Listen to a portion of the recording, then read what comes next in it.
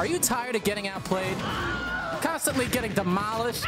Don't worry, we've got you covered. Pro Guides is the number one proven way to quickly level up your Smash Ultimate skills. Whether you're looking for tier lists, character guides, coaching, or courses from your favorite pro players, Pro Guides is where you'll find them. Even players like ESAM, Zero, and MK support Pro Guides. So what are you waiting for? Click the link to start improving right now. The Super Smash Bros. series has had a lot of controversial top tiers. In Melee, it was the Puff. In Brawl, we had Meta Knight. And in Smash 4, there was no question about it. It was Bayonetta. Bayonetta got so much hate that when Ultimate came out, Nintendo nerfed her into the dirt. She went from the best in the game to just like, if you have any self-respect, you do not pick Bayonetta. Believe it or not, Bayonetta is surviving in the Ultimate meta, even after getting nerfed and overshadowed by her teenage DLC son, Joker. In fact, some pros like Salem and Tamim have used her to get big wins. By big wins, we mean Salem using Bayonetta to beat 8-Bit Man, Lima using Bayo to beat Austin and get first at Strong Region, and Tamim getting fifth at Glitch 6, beating Mr. E, Rivers, 8-Bit Man, and Wadi. Don't get us wrong, Bayo is nowhere near what she was. RIP Smash 4 Bayo. But Bayo is still getting pretty good wins if you consider that she's a low mid-tier character. In today's video, we're gonna break down two things. First, we're gonna break down Bayonetta's unique position in the meta. Second, we're gonna break down just how Salem and Tamim make Bayo work, despite her pretty glaring flaws. This video will be good if you're curious to learn more about Ultimate's current meta, and it's great if you wanna learn how to play Bayonetta's strengths yourself. Let's dig into the meta, and this time, we're actually not gonna focus on stats and win rates. Honestly, they're not even that interesting. Watching the paint peel is more fun. Instead, let's talk about legacy and counterpicking. There are a lot of mid-tier characters in Ultimate, and each one tends to have something that makes them a little different. In the case of Bayonetta, that something is legacy, and it makes her a lot different. Bayonetta wasn't just great in Smash 4, she was also stylish, entertaining, just beautiful. I can already hear the Smash 4 veterans just screaming in the comments. Listen, not everyone's gonna have the same taste, but like Brawl Meta Knight or even Melee Fox, Bayo could do some seriously cool stuff. So when Ultimate came around, Bayo's legacy remained, even after she got nerfed to oblivion. You could look at Peach as the new combo you to death character, and some of the legendary Smash 4 Bayo mains have. But Bayo's legacy means that a lot of really good players have stuck with her and made a regional threat. There's Tamim, formerly Mistake in Canada, Lima and Shadow PR in Texas, Geist in Ohio, and others elsewhere too. Her legacy also makes her something of a comfort pick for top pros, or panic pick. So at a major tournament, you've probably seen a few PGR ranked players lose on Bayo. Mute Ace tried to use Bayonetta for Tea's Pac-Man, and Salem tried to use Bayo from Maister's Game & Watch, and uh, you know, it didn't, uh, didn't work so well for them. Ultimate bought nerfs, but also left her core playstyle intact. While that keeps her both fun to watch and play, it means that most of Ultimate's good players already kinda know the matchup. They learned it by fighting the better version of her in Smash 4 over and over again. While Bayo didn't get a lot of favors when the engine switched from 4th gear to 5th, she did get one.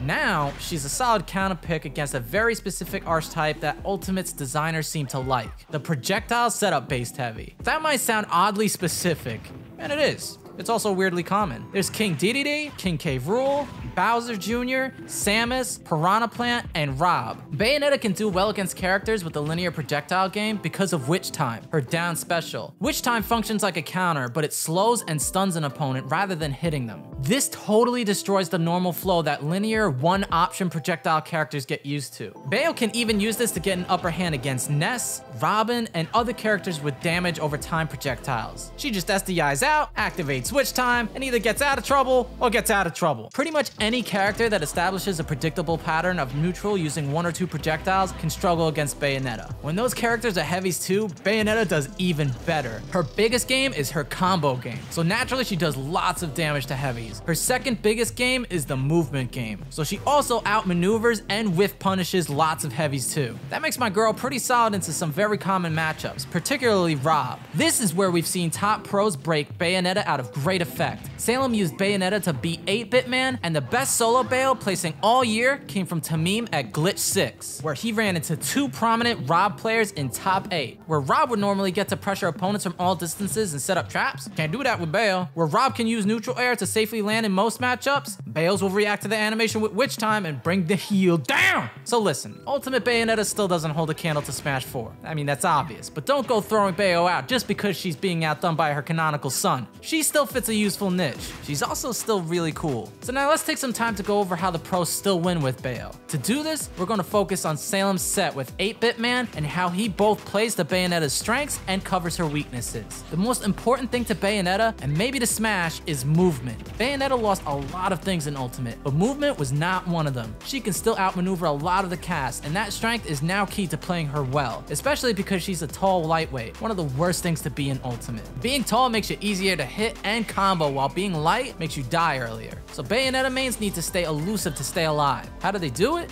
Not so differently from Smash 4.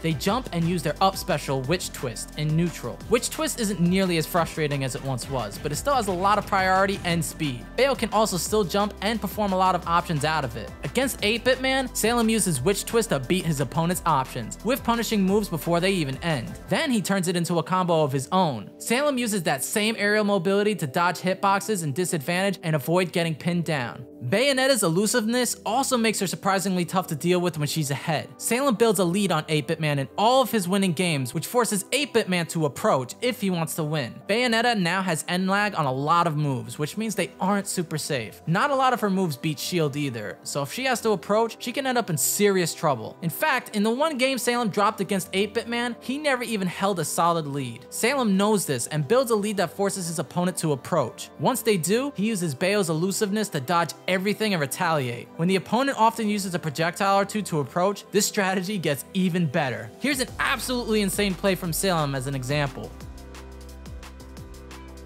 If you didn't catch that, he knew the angle Diddy Kong tossed a banana, caught it with Witch Time, waited for the pressure to make 8-Bit Man air dodge, then landed a smash attack after the air dodge sick as she is, it is important to note that her lack of solid approach options and her laggy moves are a big part of what hurts her in the tiers. Bayo's matchups into really defensive characters can look rough. Just watch as Salem tries to get in on Maister's Game & Watch. The whiff punisher becomes the whiff punished. Bayo also suffers from a lack of kill options in this game. Even the good Bayos will often have to work an opponent up to 170% to reliably get a kill. She basically can't kill people off the top anymore, so her approach to taking a stock has to change a lot. Now Bayonetta gets kills either through a stray move, a good witch time, or off of the side using edge guards or ledge trapping. Like her actual son, Bayonetta also has some pretty good edge guards in general. That can help her against some of the popular swordies with bad recoveries too, like Chrom or Cloud.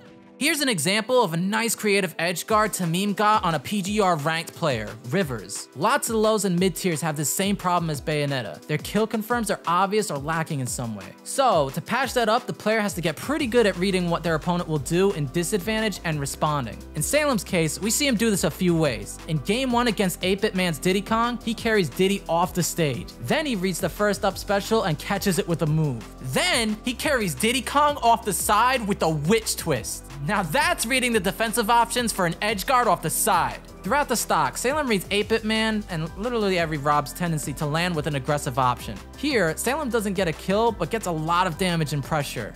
Here, Salem gets a kill. That's all Salem's reading an opponent's defensive tendencies, then using Witch Time to get about as guaranteed a kill as Bayo's gonna get. Then, it all comes down to pure option select. Sometimes Salem simply reacts to his opponent and picks a good raw move. In game 4, he catches 8-Bit Man using a side special and whiff punishes with a forward smash. In game 3, he clearly reads and outspaces a neutral air. Sometimes, in fact, more times if you're low tier, you just gotta give him a good smack. This is another reason why it's important to survive for a while as Bayonetta. The rage she gets can determine if a smash attack kills. And her kill power has been so nerfed that closing a stock below 120% actually feels like a blessing. Or a curse. Cause she's a, uh, she's a witch. Uh, I don't know. Anyways, Rage helps with one of Bayo's main issues, which is getting kills. It also boosts her damage even further. Bayo still has a lot of combos, combo starters, and aerial frame traps, and most of her damage output stays online even when she has the increased knockback from Rage. She gets the same combo, just with more damage. So, as Bayo, the goal is to stay elusive and stay alive. Then, once an opponent gets frustrated, catch them with the Witch Time or Whiff Punish. But staying alive as Bayo isn't as easy as it sounds, especially since her recovery is not what it used to be. For the unacquainted, Bayo's up special now extends her hurt box above the ledge. Opponents can actually punish her as she grabs or gets near ledge.